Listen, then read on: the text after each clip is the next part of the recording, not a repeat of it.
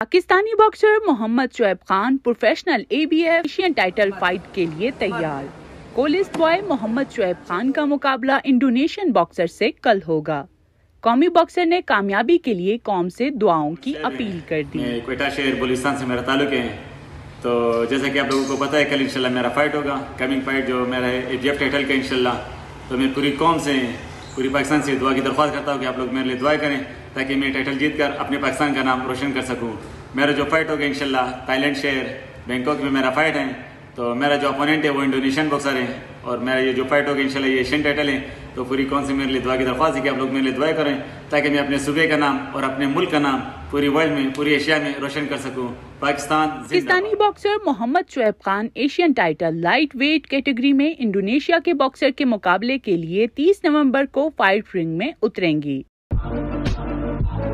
कौमी boxer Bangkok ताईलैंड में होने वाले एबीएफ टाइटल फाइट की जीत के लिए पुरअज़म दिखाई देते हैं।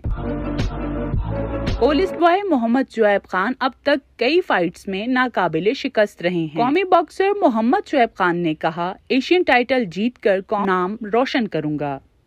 मेरा ख्वाब पूरी दुनिया में सब्ज हिलाली परचम को सरबुलंद करना है।